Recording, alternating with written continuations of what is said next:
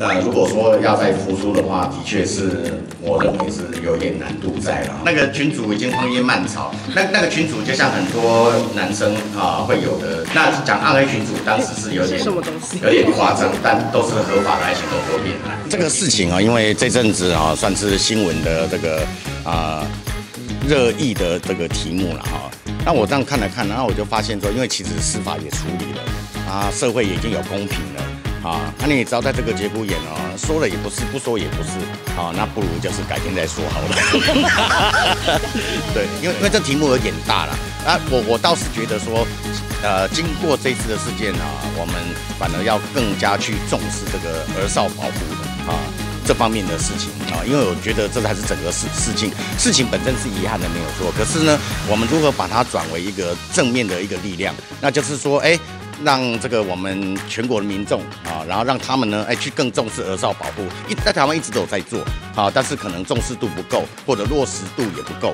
那如果可以转成这方面的一个正能量的话呢，啊，我认为是一件非常好的事情。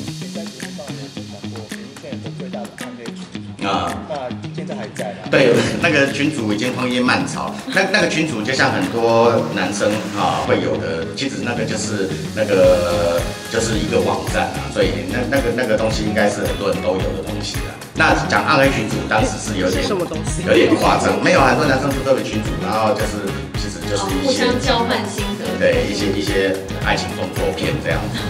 但都是合法的爱情动作片啊，而片源都来自日本的那个各大 A P 公司。呃，如果说要再复出的话，的确是我认为是有点难度在了啊，因为啊，台湾演艺圈说真的，因为过去也没有发生过什么样的事情啊，就是啊类似交割这样的事情，所以呢，没有过去的啊事情可以参考。